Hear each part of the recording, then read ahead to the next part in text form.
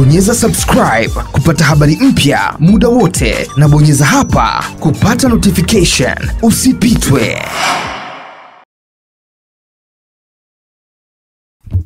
Yes, stori kubwa mtandaoni sasa hivi ni stori kumuhusu CEO wa Konde Music Worldwide Harmonize mara baada ya kuamka na jumbe tofauti tofauti kutoka kwenye wimbo wake wa Barexa, na jumbe hizo hapo zimetafsiriwa kama ametupa jiwe gizani. Anamlenga nani bado haijafahamika hasa, lakini kupitia hivi vijembe ambavyo amevirusha Harmonize utapata kufahamu pia, na unaweza kuniandikia hapo kwenye uwanja wa comment, wewe unamuona nani hasa ametajwa kwenye mchongo huu hapa. Harmonize ameandika sifa ya Baresa ni mchapakazi, achagui biashara hadi tui la nazi, anaamini mafanikio ni hatua kama kupanda ngazi.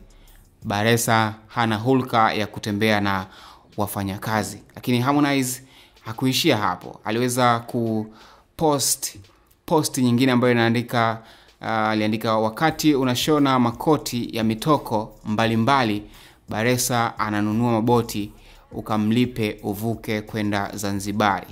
Lakini hakuishia hapo, Harmonize aliendelea kwa kuandika uh, it's my birthday week so happy going 28 I just wanna thank God for this life I'm living I really enjoy nawaza kitu cha kufanya au zawadi ya kujipa siku hii kubwa kwangu muhimu. So kwa baadhi ya uh, hizi post ambazo ameweza kupost Harmonize zimetafsiriwa kwamba kuna mahali ametupa jiwe lake na huenda litakayemlenga basi ndiyo huyo huyo. Matajiri hawana time ya kuongea.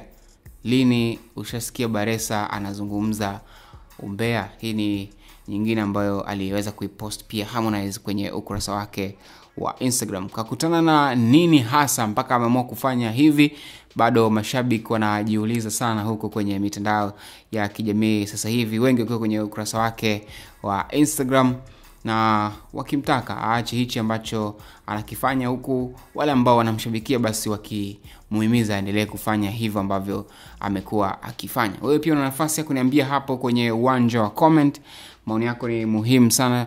Unafikiria hiki ambacho amekifanya Harmonize kitakuwa kinamgusa au kimemlenga nani? Pia tuandikie hapo. Asante kwa DSTV Wasafi unaweza kuistream album ya